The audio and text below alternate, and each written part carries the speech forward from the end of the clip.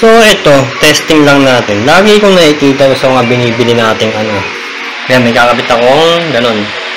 ah corner shelves sa CR. Eh, hindi ko to ginagamit parate. So, ngayon iti-testing ko.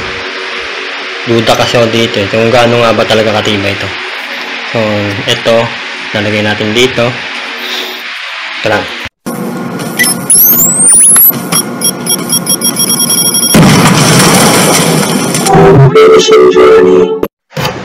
So, yan, ito.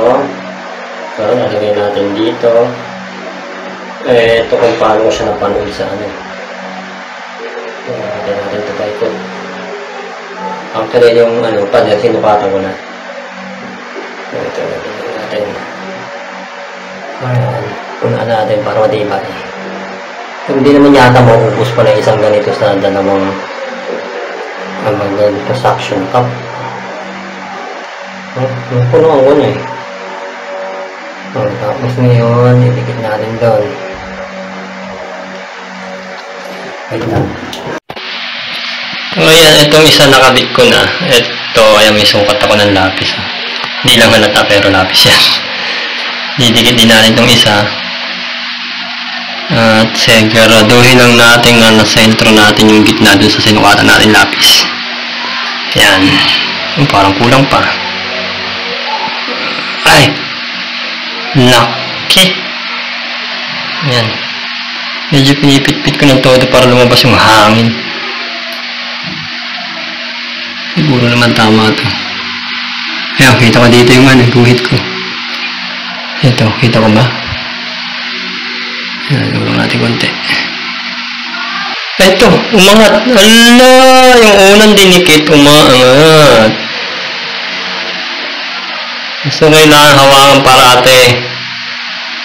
Ah, lagyan ko siguro ng ano, masking tape to. Para hindi umangat. Ito, umangat na rin. Parang di ubra. Ah.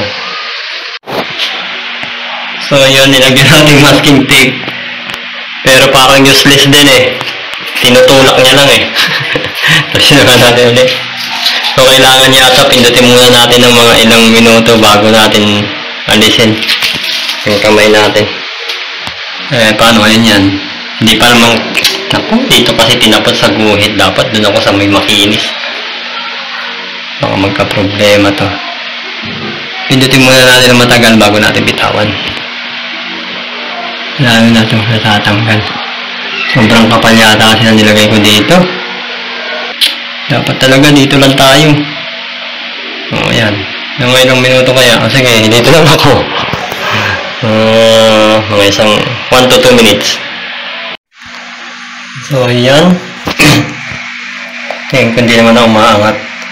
Ang, oh, ito hindi na masyado eh. Ito tingin ko napakapal kasi yung lagay ko kaya matagal mo to yung ngayon maangat ba Pero actually 5 minutes na ako nandito tinimer ako sarili ko para lang nakita para lang di umangat ng 2 minutes kasi umangat pa din pero isa hindi no eto medyo umangat pa kasi napakapal ang lagay pero ito medyo okay na so antayin lang natin dyan ng mga 72 hours sabi sa video eh. Sa mga tatlong araw yan.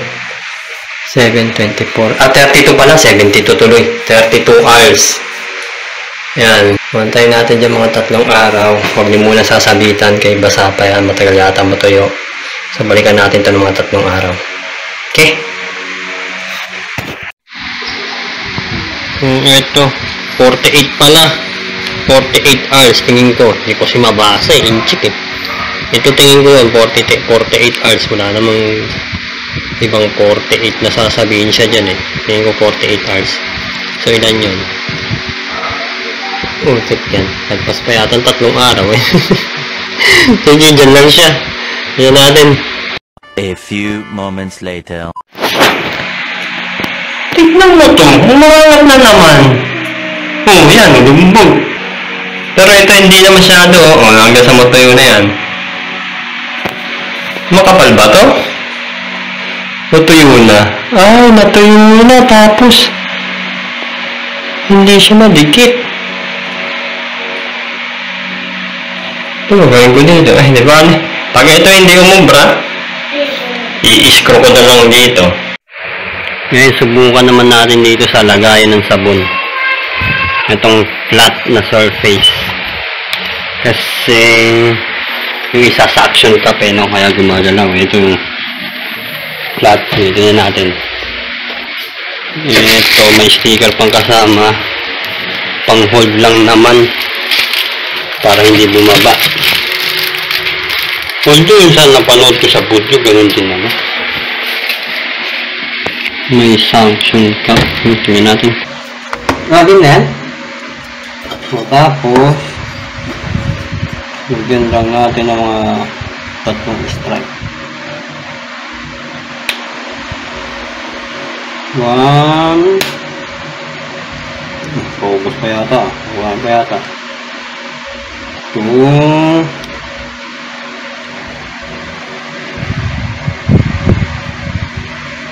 Three.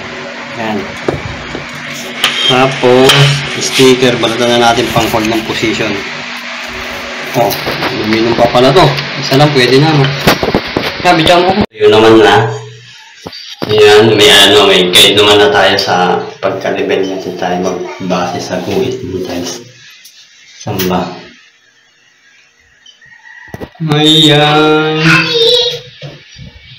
Um, tapos, i-tape natin. Mami! Oh. Tape natin para di gumalaw.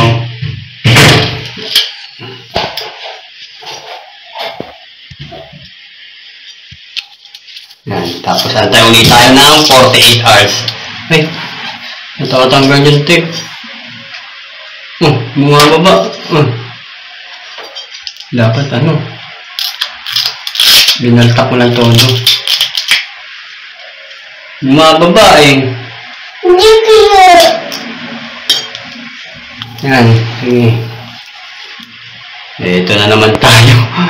Ito, yan, ganyan yan. Yan. Yung guhit.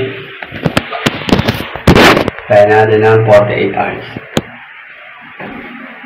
Okay. So, yun, magagaling ko. After 24 hours, oh, medyo natanggal na nga yung sticker eh. Ginamit na nga ng anak ko.